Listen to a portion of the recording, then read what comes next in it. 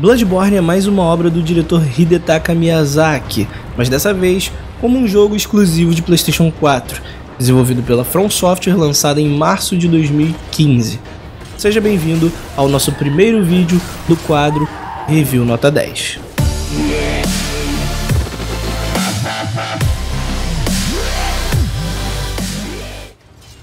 Os critérios são enredo, personagens, design, áudio, gameplay e performance.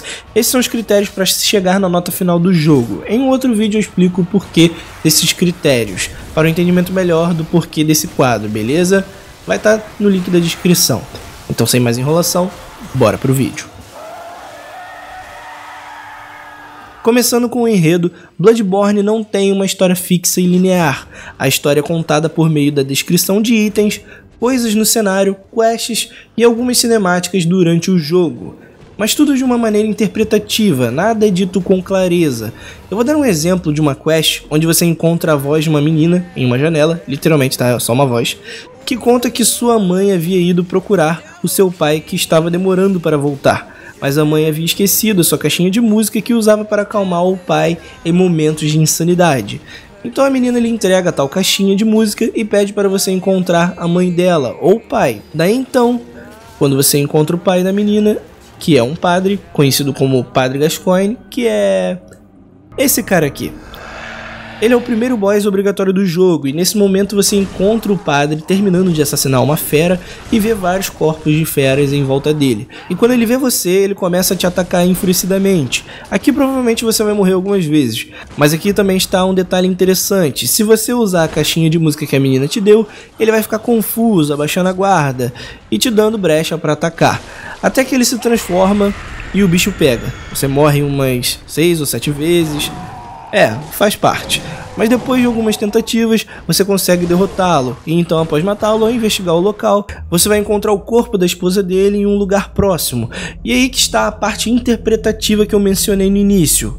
O que será que aconteceu ali? Será que ele matou a própria esposa sem perceber é, em um momento de insanidade? Ou será que as feras mataram ela e ele ficou louco e perdeu a razão de vez ali? Não tem como saber, você decide. O que seria mais provável? Conseguiram ver a complexidade em apenas uma quest? E isso é só no começo do jogo. Quanto mais você avançar no jogo, mais coisas você vai descobrindo sobre o universo do game, mas tudo vai se encaixando como um quebra-cabeça, mas de forma interpretativa, onde cada jogador pode chegar em uma conclusão diferente sobre o universo do jogo e os seus acontecimentos. Mas isso apenas se você se atentar aos detalhes e ler a descrição dos itens, senão você pode terminar o jogo e ainda assim não entender nada, fora os três finais do game. Bloodborne não tem uma forma comum de contar sua história, mas isso é uma marca assinada de Hidetaka Miyazaki, pois todos os seus jogos são assim. É a mesma coisa em Demon Souls, a mesma coisa na franquia Dark Souls e agora em Bloodborne.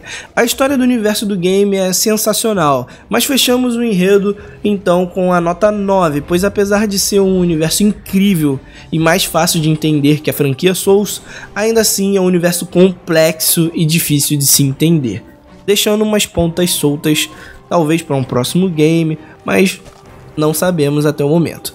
Então vamos fechar com 9.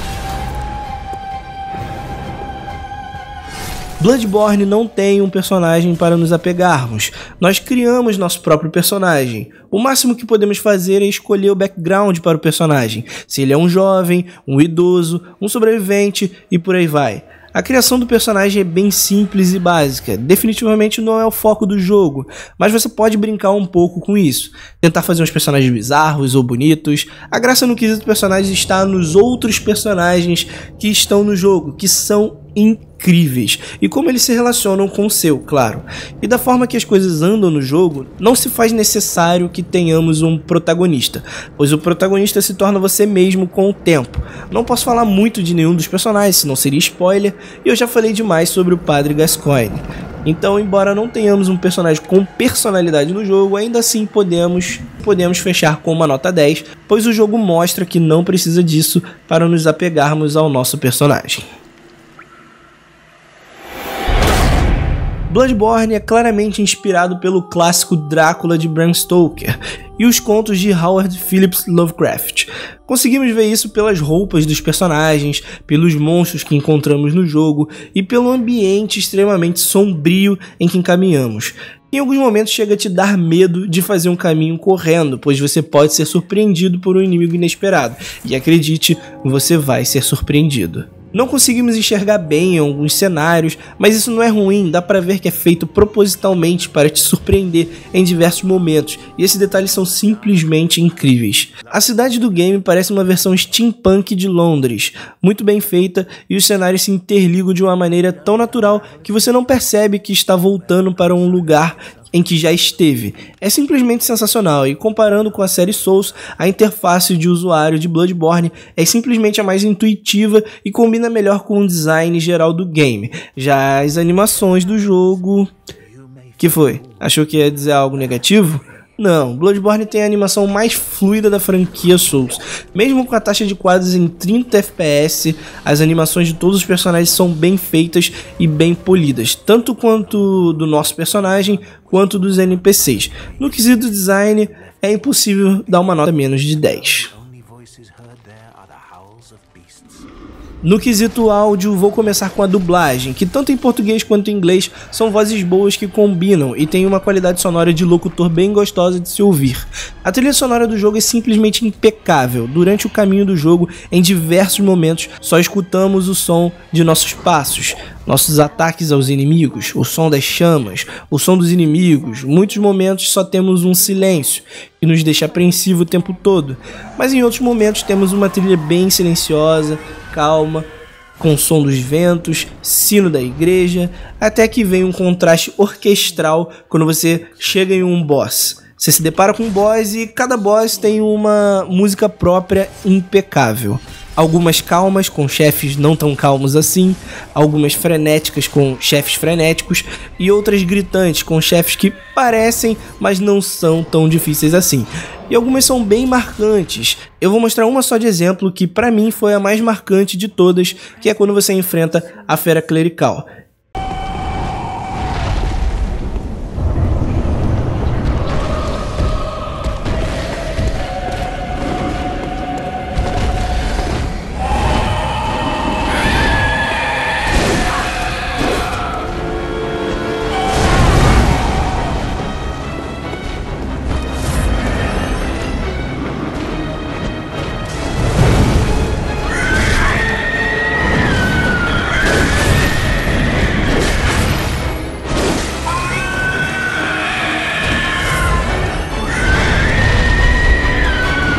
Eu mostrei só uns trechos da orquestra, mas depois dessa trilha, acho que podemos concluir que é nota 10.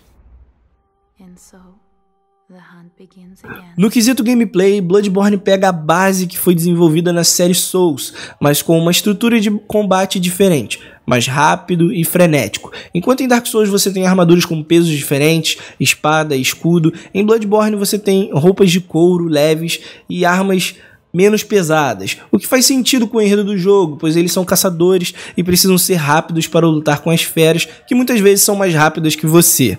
Todas as armas possuem duas formas e você pode alterar essa forma à vontade durante o combate. E pode usar sempre uma arma na mão direita e uma pistola ou tocha escudo na mão esquerda. E temos armas que se transformam em armas de duas mãos, que dão ataques mais pesados e podem tirar mais dano do inimigo, apesar de te deixar um pouco mais lento no ataque. Isso influencia na estratégia de combate do jogo, que varia muito de acordo com cada inimigo ou cada chefe que você enfrenta. Em Bloodborne, a melhor defesa é a esquiva, tenha sempre isso em mente. Dificilmente vai vencer um boss fight de primeira. Então, observe bem os movimentos do inimigo na primeira vez e na segunda tentativa, bole uma estratégia, escolha bem os seus equipamentos e tente sempre esquivar no time certo para evitar os danos. Mas mesmo se não conseguir, não se estresse, relaxe, tome um chocolate, respire fundo, reflita na experiência que obteve no último fracasso e tente novamente visando um sucesso, claro. E lembre-se que paciência é uma virtude e é o truque-chave para ir bem nesse jogo. Não seja afobado querendo que a luta acabe rápido. Vá tranquilo e aproveite o combate. Mesmo que demore 10 minutos de combate, você vai perceber que ao vencer, vai sentir que é uma vitória extremamente gratificante. Provavelmente vai querer abrir uma taça de vinho, soltar fogos e contar para os amigos. A satisfação de vencer uma batalha difícil é o que faz o jogo ser tão divertido e gratificante para nós jogadores. Concluído tudo isso, o gameplay fica com nota 10.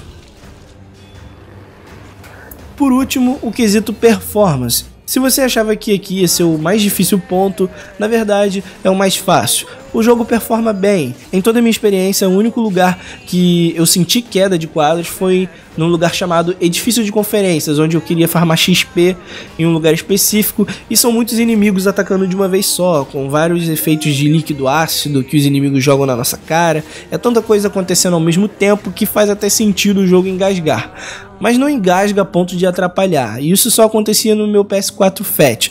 Quando troquei para o PS4 Pro, isso já não acontecia mais. Fora esse lugar do jogo, eu não presenciei queda de quadros ou ao menos não senti. Tudo flui bem, nada de ficar preso em paredes ou objetos, a não ser que o boss prenda você num canto. O que é difícil de acontecer, mas não vejo como bug, e sim como parte do desafio. O modo online funciona bem até hoje, tanto para cooperativo quanto para PVP, e mesmo hoje, com um level bem alto no jogo, o desafio ainda é alto, e bugs são raros de acontecer. No fim, a performance também é nota 10. Bloodborne se mostra uma obra-prima em relação aos seus antecessores, fechando com uma nota 9,8 em nosso review nota 10. E para terminar, eu vou dizer o que poderia melhorar no jogo. Esse ponto já não conto mais pontos, mas só coisas que eu gosto e que eu ia achar incrível se estivesse no jogo. Mas não é algo para se descontar pontos na review, e sim uma opinião pessoal. E o que eu adicionaria no jogo seriam cinemáticas em alguns chefes específicos do nosso caçador matando a fera de uma maneira diferenciada, talvez usando diferentes armas. Isso daria mais vida ao nosso personagem. E não sei vocês, mas eu acharia ele mais inesquecível dentro do game. Mas isso é só um detalhe que no final não se faz necessário. Bloodborne é uma obra-prima sem dúvidas. Se não entenderam como funcionam os critérios para avaliação, acesse o link na descrição, lá eu explico melhor. Espero que vocês tenham gostado. Deixe seu like, compartilhe, se inscrevam e ative o sino para receber as próximas análises aqui no canal. Tenham um ótimo dia ou um ótimo término de dia e espero vocês em um próximo vídeo. Fui.